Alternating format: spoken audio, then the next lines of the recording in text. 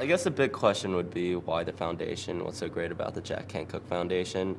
Uh, for me, pretty much, it could be summed up in two words opportunities and perspectives. I think that what the foundation really represents is being able to help young people achieve that wouldn't have been able to achieve previously by opening up different opportunities for them. And that was really what they did for me. Being able to understand that your advisor's always there looking out for you, doing the research, and that the foundation's always there to back you up. You really look at everything that you can do. Being able to have these opportunities really allows you to search for different options. And through that search, you really see different worlds like that you could possibly go into.